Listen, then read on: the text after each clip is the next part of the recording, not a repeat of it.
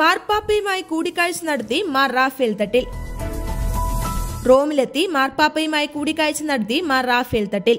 Major arch ബിഷപ്പായി തെരഞ്ഞെടുക്കപ്പെട്ട ശേഷം ആദ്യമായിട്ടാണ് മാർ റാഫേൽ തട്ടിൽ റോമിലെത്തുന്നത്. രണ്ടായിരത്തി ഇരുപത്തിനാല് മെയ് പതിമൂന്ന് തിങ്കളാഴ്ച ഫ്രാൻസിസ് മാർപ്പാപ്പ റാഫേൽ തട്ടിൽ പിതാവിനെ വത്തിക്കാനിൽ സ്വീകരിച്ചു.